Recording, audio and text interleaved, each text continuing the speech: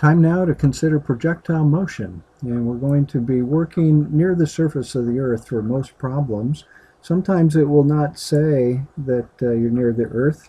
Just talk about a sport or uh, some other happening common to everyday life. You have to go ahead and yourself use the assumption that uh, the acceleration due to gravity is minus 9.8 meters per second squared, and notice that's only in the y direction.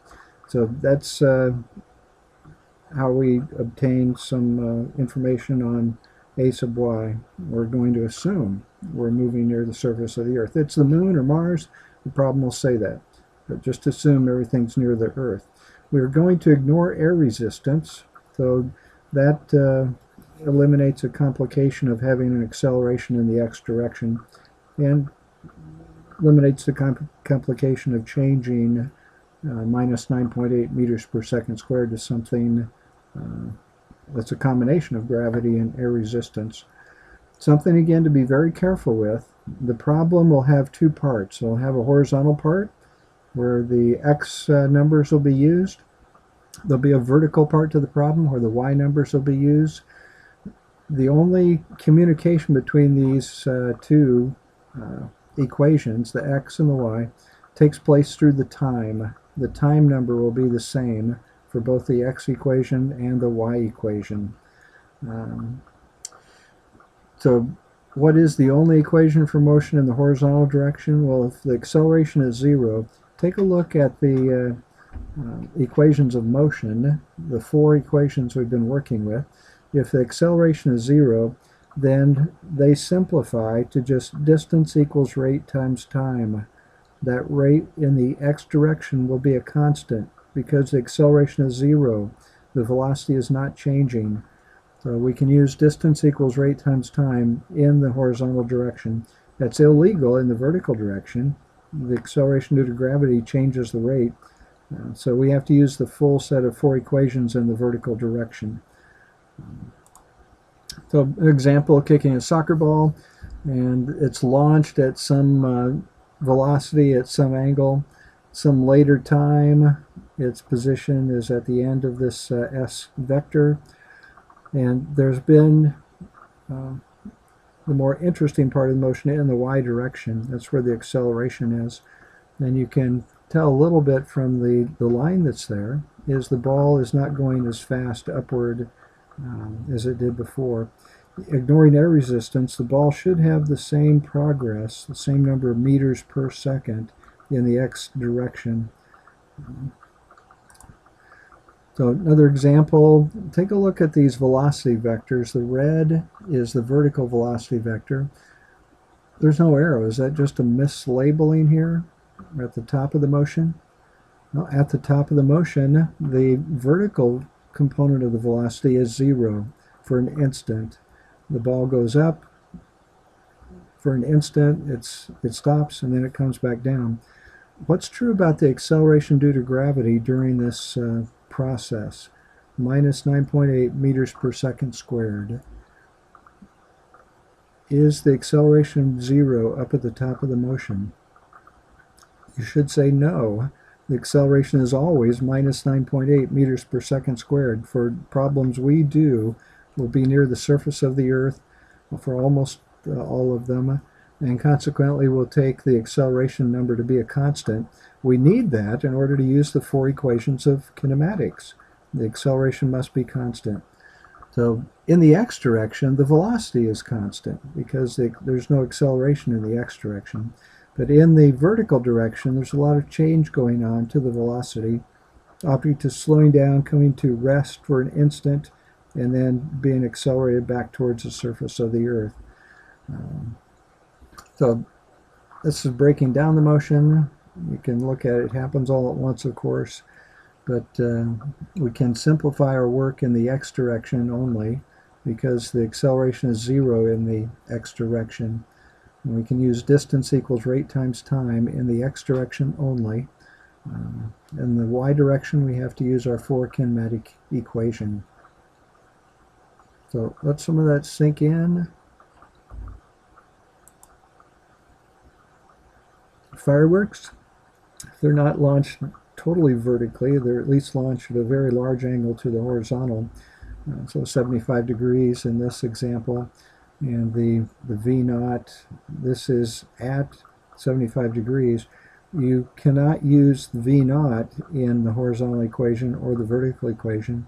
Your first step would be to uh, break this into components and then do a calculation.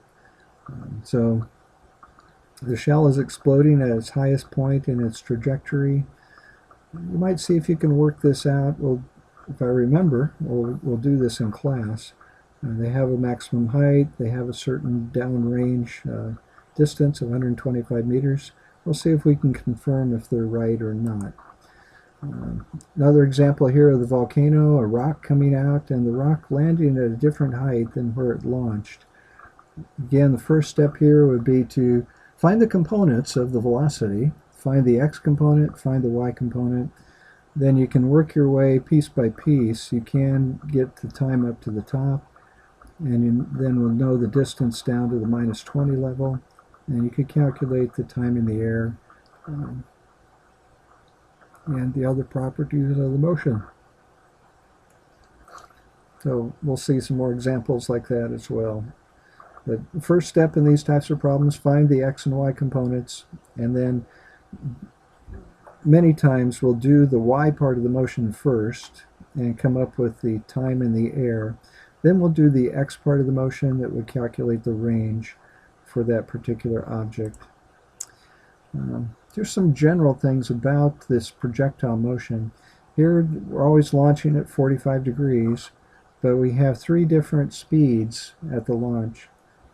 So why is it that when the speed goes up, the range goes upward, further down range?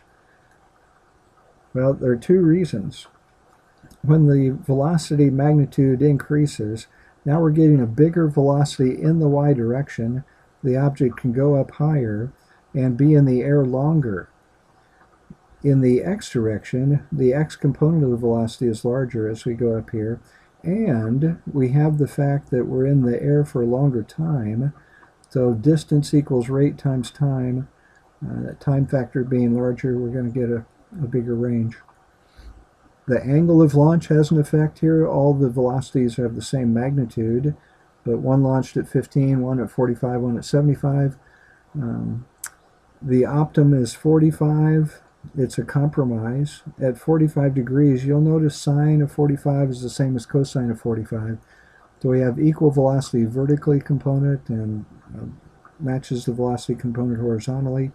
So it's a trade-off. We're getting some time in the air, sort of a medium amount of time in the air. And with the uh, medium launch angle of 45 degrees, um, this green path is going to be in the air longer. But at 45 degrees, we're also getting a substantial component in the x direction, and we can use distance equals rate times time. Um, if we're on the green path, then we've got a bigger time in the air, but the x component of the 75 uh, degree velocity is a small number. So if we have a high angle, then we don't have much velocity in the x direction. If we have a low angle, then our time in the air is smaller. And there is symmetry here. Uh, 75 plus 15 is 90 degrees. And these uh, two angles produce the same range, ignoring air resistance. Um, and there are other angles you could pick. Um, 30 degrees, and 60 degrees would be a, a pair. You might try to think of some others. But 45 degrees is the optimum launch angle when air resistance is ignored. It's a compromise. We have a good y velocity, so we get uh, time in the air that's reasonably good. And we have a good x velocity, so distance equals rate times time. That rate is, uh, is a good, uh, good value. We get a big distance traveled. Um, imagine trying to put something in orbit by firing from a large tower. We have this acceleration due to gravity, and if we fire too weakly, gravity pulls the object down to the surface. Um, we're ignoring air resistance in this problem, but as the uh, uh, speed increases of the launch, then the range is going to increase. And eventually we can reach a, uh, a speed, an initial launch speed, where as the object falls towards the Earth, the Earth's surface is falling away from the orbit, and we get an orbit achieved. Uh, we'll talk more about this when we talk about orbits. But let's take a look at an example, projectile motion example. Launching at 12 meters per second at ground level, angle of 28 degrees. I want to find the maximum height, the time in the air, and the range. We're going to land on level ground in this problem. First uh, step is to find the components. So y, the vertical part of the velocity, is uh, using sine function. And I came up with 5.63 meters per second. The x part of the velocity, the x component, would be 12 times cosine of 28, so 10.6 meters per second. Or a ball, you find those on the Earth. So the acceleration due to gravity is minus 9.8. Again, minus means directed downward. And at the top, when the object's not going to go any higher, the velocity, and this should have a y on it, the velocity in the y direction is 0 meters per second. Um, the velocity is decreasing as the object goes upward. It starts with uh, a component of the velocity 5.63 meters per second in the uh, y direction. But the acceleration due to gravity is going to reduce that um, down to zero. So how can we proceed here? To get the maximum height, well, we don't have the time. So look at equation 4. 0 is the uh, velocity at the top of the motion. We start at 5.63, we have to square that. And then 2 times acceleration times the y distance, y position. And you solve this, you should solve it on your own. I came up with 1.62 meters. How about the time to the top of the motion and use that to calculate time in the air, just double it. If we're landing at the same height as we launch, then the time in the air is just two times the time to go upward. So we have this equation 1, 0 velocity at the top, 5.63. Our initial y velocity, 9.8 is a negative, it's in the y direction. And then the time to go upwards. So that turns out to be 0.574 seconds um, if we're doing this calculation. Time in the air is double that. So from launch till the object comes back to the ground, 1.15 seconds. The range then can be calculated once we know the time in the air and we know the rate in the x direction. So we have those numbers and I came up with 12.2 meters for the x value. So you have some control here. You, know, you could try doing your own calculation, changing the angle, uh, if you change it towards 45, you're going to get a bigger range. Or you can change the uh, meters per second number, reduce that, and see that the range gets smaller as you look through here. So that's where we're going to stop this uh, video. Keep reading, keep asking questions.